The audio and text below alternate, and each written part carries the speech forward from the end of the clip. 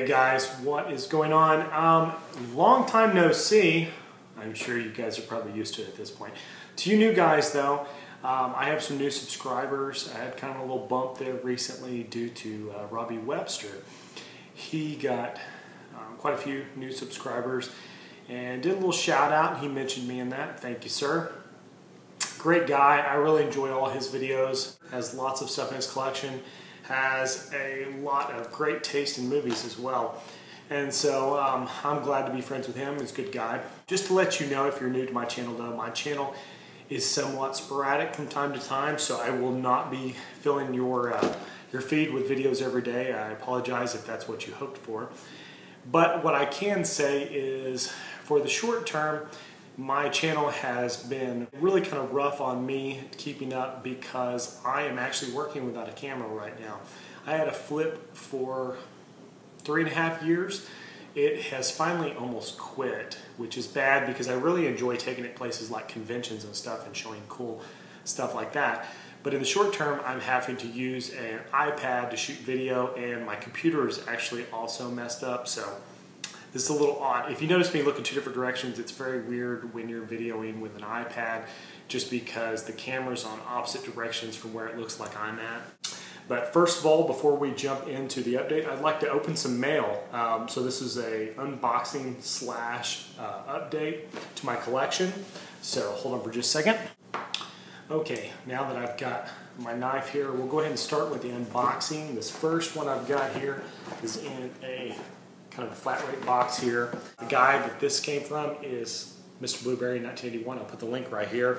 You can go directly to the link in the description. I will have it there as well. Very loyal viewer, a cool guy, and I hate that I've made him wait this long to unbox this. Here's the stuff here.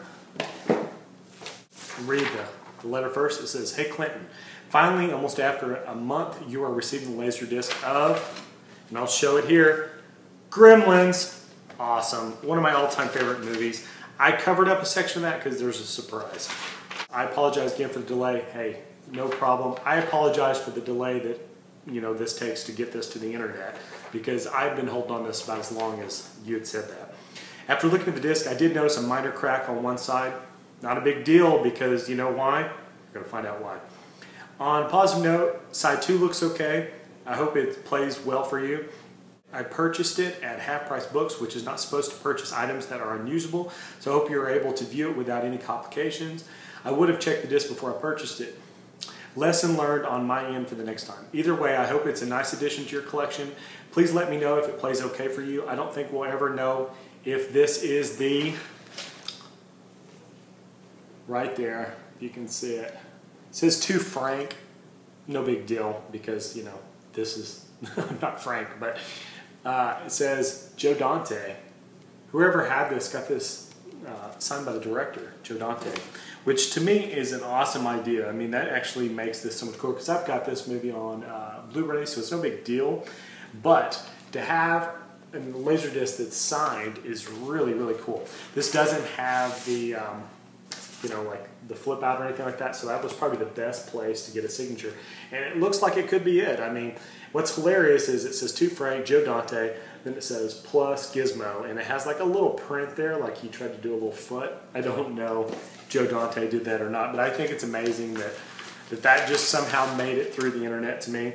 And this is what he mentioned. He said it looks like there's a crack, and you can, you'll probably pick it up a little bit right there. And there is a crack.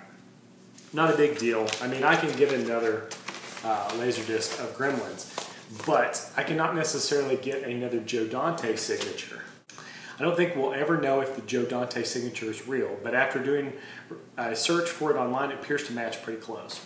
I would guess that that's probably real. I mean, for what it's worth, it would be almost not worth it to try to fake something like that.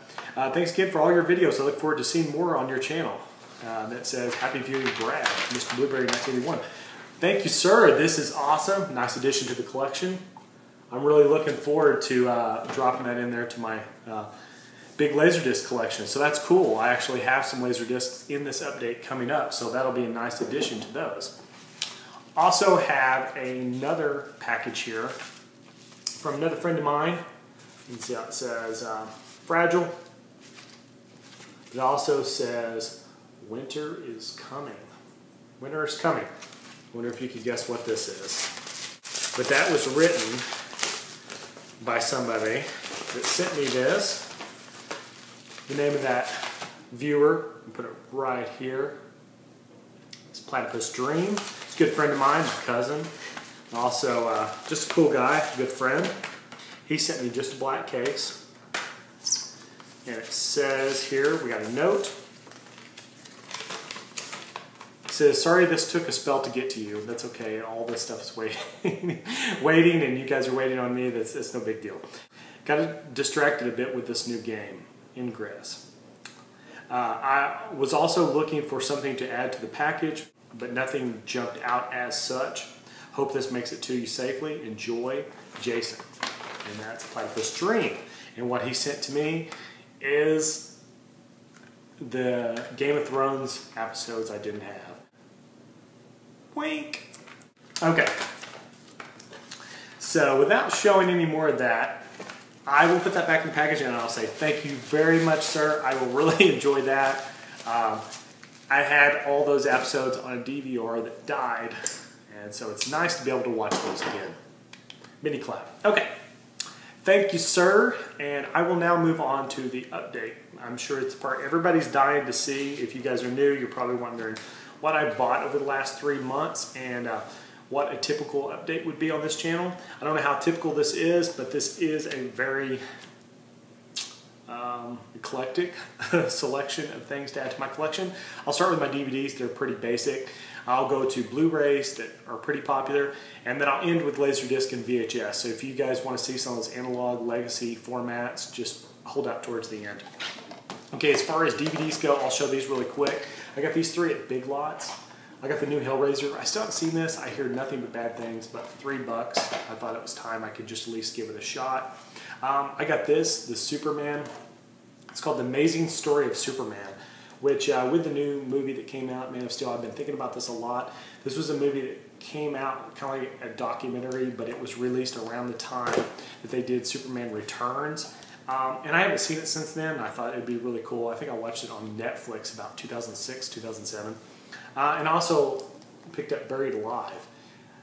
Not expecting much out of this, but it, the main creature lady thing looks kind of creepy, and I thought, ah, for three bucks, I'm going to give it a shot. So those are just some easy little Big Lots pickups.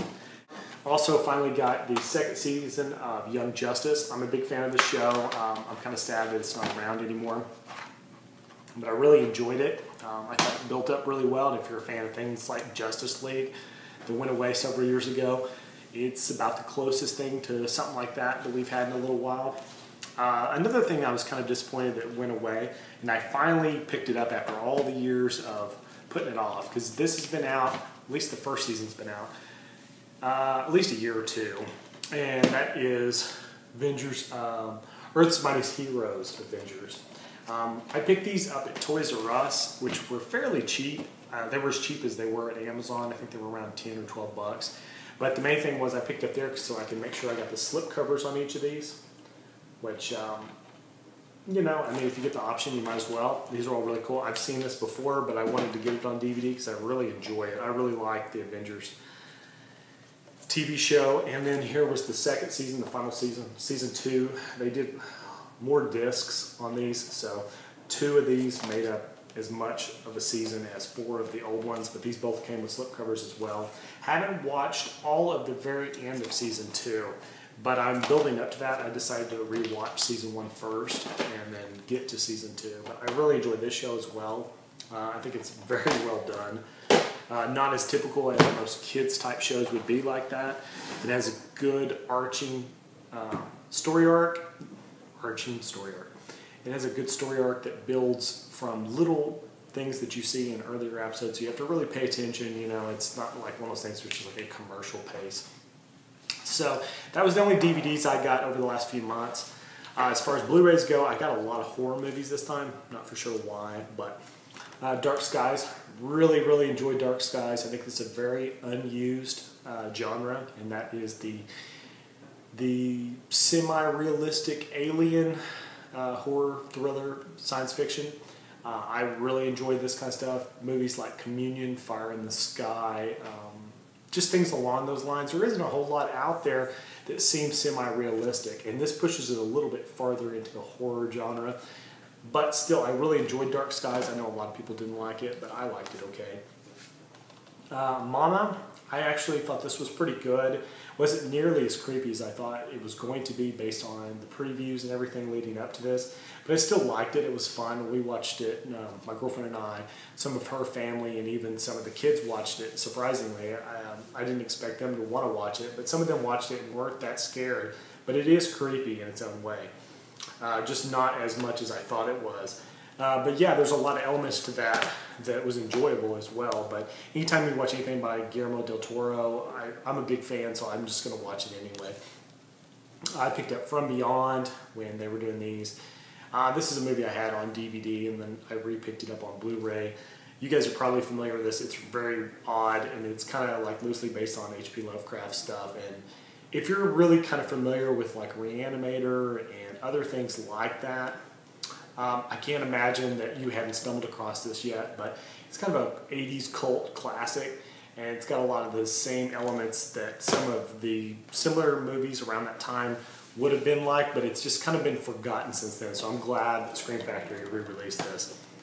Uh, the next one I've got here is another Scream Factory release, which is Phantasm 2, which is personally my favorite Phantasm, which I, I kind of feel like I, I, get a lot of crap for that because a lot of people like Phantasm 1 or whatever, but I, I, like all the Phantasms, but Phantasm 2 is my favorite, and it just always has been. I like the part where they gear up and they get the car and they put everything in the trunk, and it just has that feel, you know, like like an action movie sort of, and it's just really like intense. I like when the people fighting monsters or the evil part of like a horror movie are actually prepared, you know, and so even if it didn't always work out, it, it's just kind of cool to see that. Uh, the collection, if you're familiar with the collector, this is the sequel directly after that, and um, I liked it okay. I liked the collector as well, so I have nothing negative to say about the collection. Um, I was really excited going in, so I probably had overly hyped expectations, but after seeing it, it wasn't quite as good as I thought it was going to be, but I actually really enjoyed it, so no complaints, you know, to speak of. Um, the new Texas Chainsaw Massacre, this one's in 3D. If you're a fan of Texas Chainsaw Massacre, like a true fan of the original, this kind of seems unnecessary. Um, I don't know why they keep feeling the need to reboot and update the story. And this kind of takes place before um, everything that happened in the old one. And I understand that fits in there, you know, in a cool way. But at the same time, um, I didn't really get into this as much as I'd hoped. But it's just all right. I would say that's probably more of a rental unless you've already seen it and you know you really like it. Uh, a Good Day to Die Hard. I actually uh, thought this was a pretty good movie as long as you don't have that preconceived Die Hard notion. If you're a big fan of Die Hard 1, Die Hard 2, it's finally got to the point where it's deviated so much from that formula that Bruce Willis is no longer that regular cop, which that's broke away from that formula of the last couple of movies. But this is actually, if you just look at it as a straight action movie, you're going to enjoy it okay. Uh, just don't go in with that preconceived Die Hard notion because uh, if you're a humongous fan of Die Hard 1 or Die Hard 2, you know, or both or whatever, you're not going to really see the relevance of this still being a Die Hard movie when everything that happens is so crazy and it's it's so international now and the stuff that happens seems like it's it's a little inconceivable that it would have happened to the same guy over and over again, but that's okay. You know what I mean? It's you just got to suspend your disbelief. Uh, Oz Great and Powerful, I really enjoyed this a lot more than I expected. In fact, I didn't really think I was going to enjoy this movie at all. I think in a weird way, I thought this is another one of those movies where it's overly CGI'd and it's just going to be another movie. And I watched it and I really enjoyed the backstory to the Wizard of Oz more than I thought I was going to.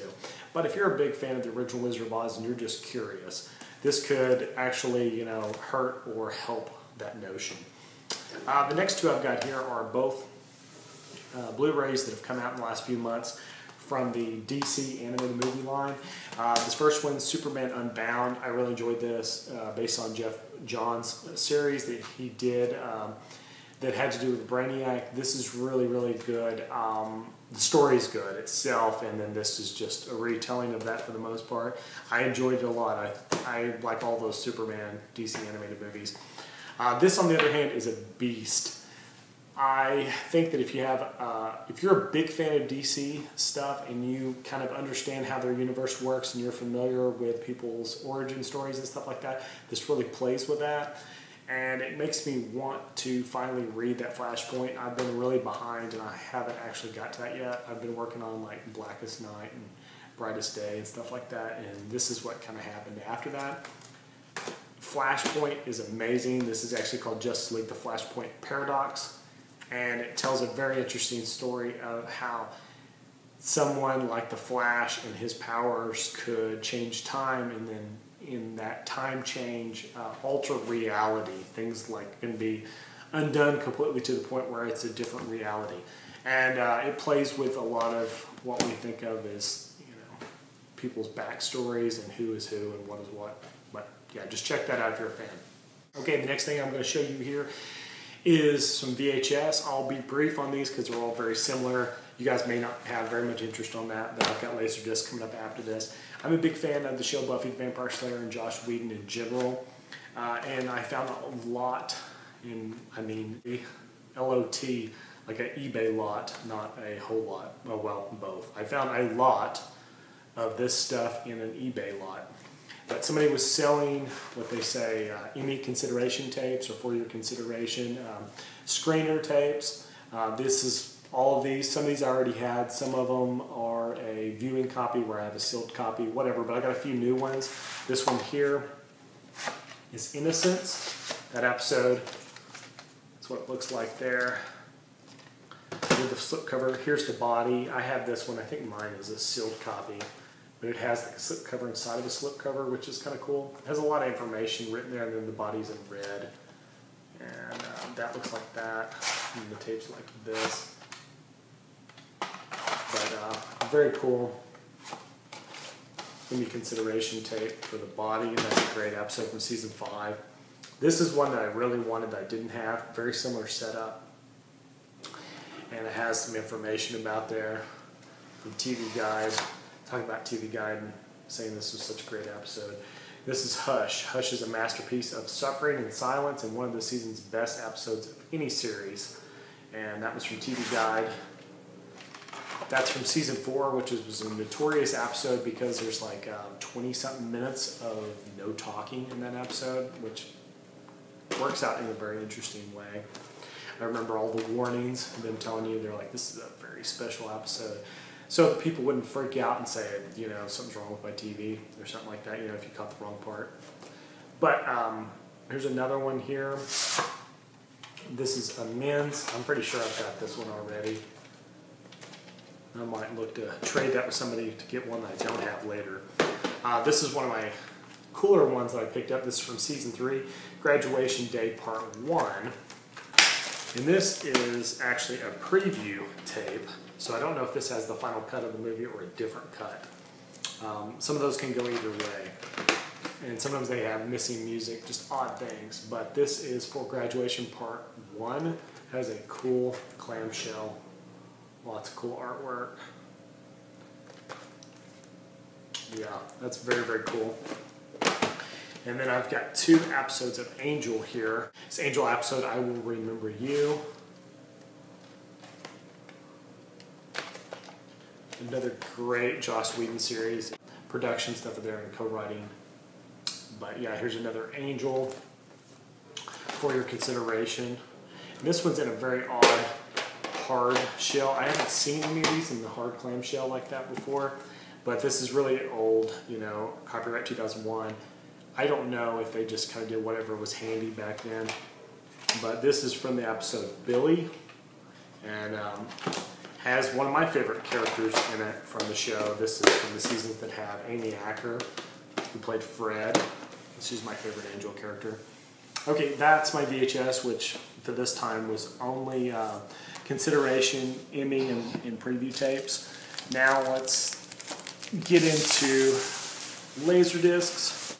I bought another uh, lot of laser discs on eBay to get a couple of movies I really wanted and ended up getting a few that you know just came with it.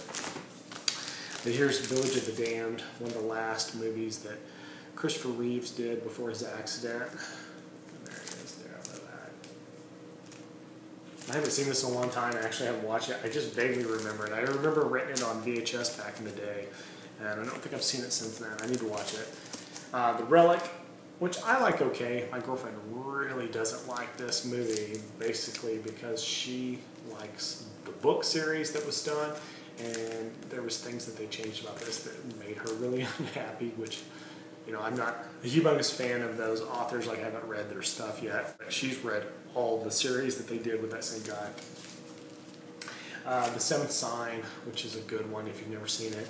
It's kind of one of those uh, religious, end of the world, fictional, you know, odd movies that they used to do these every once in a while. But the Seventh Sign is um, it's kind of one of those movies that's sort of been forgotten. That was a big movie when it came out, though. And here is Body Parts. I always enjoyed this movie. Um, Jeff Fahey. And um, it's one that I don't hear anybody talk about anymore where he, uh, he receives a, there's a transplant of arms and legs from a guy that was, um, I guess you could say like, they're almost like still evil. I don't know. I'll let you guys check it out, but it's just an interesting concept. It's been done in other movies and stuff, but I just like that one because I watched it when I was in high school. Uh, Dress to Kill, which is this is a classic if you Brian De Palma film if you've never seen it. And those were all the ones that came in that one lot, and then I bought this from another guy, which it's a little torn up, but. Uh, Stone Cold with Brian Bosworth. This is one I hadn't seen in forever, and I just got in the mood to watch it um, growing up here in Oklahoma. Uh, Brian Bosworth was pretty famous because he um, played football at OU before he kind of you know went off into the NFL and then you know went the other direction into acting as well. But yeah, so that's kind of what I got this time. If you guys, of course, I'll add this to my where's your desk now too. Thank you, sir, and thank you, sir. I will let you guys go now. I should have some more videos hopefully coming up soon as time is allowing me to get them out there. Um, I do have a contest planned. I do have some prizes planned. I just have to get the time to make that video and unfortunately between the computer problems, the camera problems and everything else that's happened in between, it's really pushed this back and I needed to open those packages and get an update going today. So that's the reason why I still haven't done my 900 subs uh, contest. If for some reason I get close to a thousand, don't worry, I will make up for it. I will do a contest for both anyway. Okay, I'm gonna get out of here. I will see you guys again next time, and don't forget to check out the people in the links, including Robbie Webster. If for some reason you guys are not subscribed to him, just do it. Just just go subscribe to Robbie. Okay, take care.